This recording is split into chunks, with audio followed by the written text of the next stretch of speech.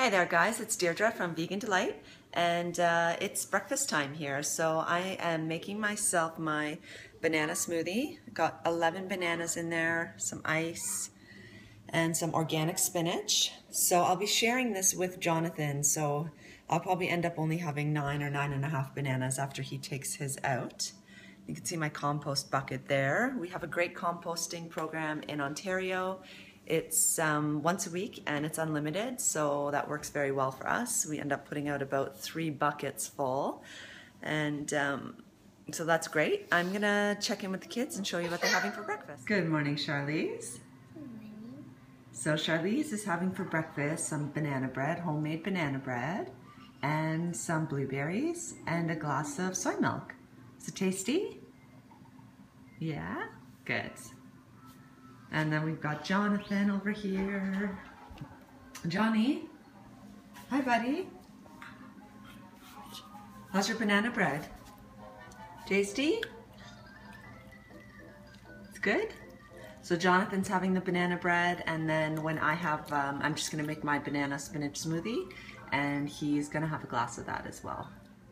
So today I'm gonna be going to um, the aquatic center again. I have another swim. So I'll be um, over there. There's about 18 of us that get together for the swim and we have two coaches. So I'm gonna do some footage at the aquatic center, show you guys the beautiful pool, uh, maybe meet the coaches. So um, yeah, I'll put that in my video and I will see you guys at the pool. So here are our smoothies. I've got one for myself, Jonathan, and Charlize.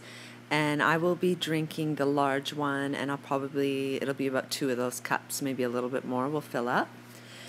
And I threw in a couple extra bananas because Charlize did decide she wanted to have one with us. All right, so I've arrived at the Pan Am Aquatic Center. So I'm just walking in now. So here it is. It's behind me. We got here. So, so this facility was um, built by University of Toronto as well as um, the city. And this is actually Canada's um, largest contribution towards a um, amateur sports in Canadian history. So that's really cool. And the facility's beautiful. So I'm going to go in now and uh, get ready for the swim. So this is the pool. It's the 50 meter pool. And they're just putting the lane ropes in right now, getting ready for our swim. The center's only a couple months old. I think it's just been open for just over a month. Um, so it's very clean and uh, lots of seating up there in the stands, nice high ceilings. And look at the diving boards, so impressive. There's some kids up there getting ready to take a dive, some aspiring athletes. I'm here with my coach, Kelvin. He uh, taught me how to swim. He took me from basics and really worked my stroke and helped me become a swimmer. And Kelvin is um, follows a mostly plant-based diet. So hello, Kelvin. Hi, Dee. How are you? I'm good. Thanks for having this YouTube. Uh, it's really good. Do you find it helpful? Yes, I love all your recipes. Very good. good. So yeah, I eat mostly uh, plant-based diet as well. Uh, we've switched over from kind of doing meat and fish now to almost doing uh, almost completely vegetarian, uh, vegan, certainly vegetarian, and uh, still can't get off honey. And uh, but anyway, I love my honey. So we start. We do um, in the morning mostly greens with a little bit of fruit and uh, grains for lunch, and then in the evening we mix it up with more grains and again vegetables, right? And it's been really great, feeling really clean, feel like I'm burning clean, and I feel energized through workouts as well. Uh, I think because of it. Awesome. Yeah, it's Very good. good. And um, so, give us your credentials. So uh, I was a competitive swimmer all my life. I grew up in a meat-eating family uh, just because I didn't know any better, and I fueled with steaks just like everybody else in my neighborhood, right? And, and the swim club.